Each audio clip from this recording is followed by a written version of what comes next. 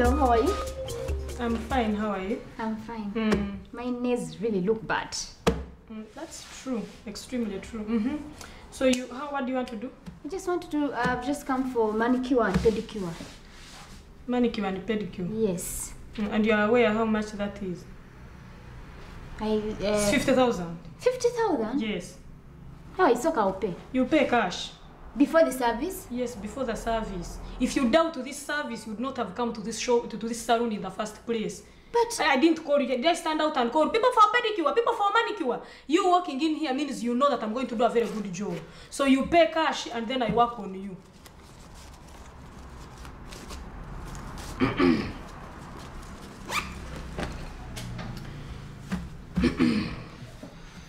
so, madam, excuse me, remove your other hand. Madam, What's what's going hand? on? You will soon know, you will soon know. This is what they call a surprise attack. And final. Hey! And final. So let me ask you. You don't even know me. See, that is what is very embarrassing. The fact that you look at me and you cannot recognize me. That is what makes my heart bleed. What's going on? You I do don't not know. Yes. Me, I know you. Don't you stay in the Kaberebe? Yes. Don't you stay behind a red gate that has fluorescent lights on the side of each side? Isn't is that isn't the barabu in your bathroom? uh, that, okay, the barabu in your bathroom does not work. Does it work? How do you know all that? See, that is what is most frustrating. You go around, kwanari, go allowing to be vibed by other people's husbands, and you don't know their wives. Madam, madam, uh, You don't know that Furu Podeke is my husband. So for as a matter of fact, you go around allowing allowing other people's husbands to kwanai when you don't know them. Why are you even as a matter let me let you go. I threat I dare you to run. You run. I was that the darts champion and I have my darts already prepared. So sit down. I dare you to run right now and go out just like this and aim for the highest. So imagine what is going to happen. So you cornered my husband under what circumstances? I didn't. You did. So he's the one who vibed you.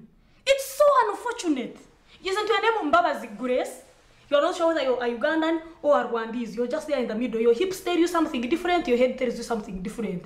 I know you very well. Next time you do research when you're going to vibe or hit on someone else's husband. I saw you coming. You know, God, you are faithful. God, Jehovah, you are Jireh. You are faithful. Just the way you sent manna to the Israelites when they were hungry and they ate. This is my manna. Today I'm Israelite. Today they have sent me to you. I am going to show you that by the time I chose Philip with his skin color that is not totally brilliant, Madam, I'm with sorry. his face that is not totally handsome, I knew what I was doing. I did not expect the likes of you to like him. So you stalked him into liking you. Into liking you, and then you're. I'm running out of ideas. I don't know where to start from. You know, the Bible also says that when you have a part on your body that causes you to sin, cut it off. Feel free, think about it. Which body part? Just think in your head, think. Which body part do you think you're going to cut off first?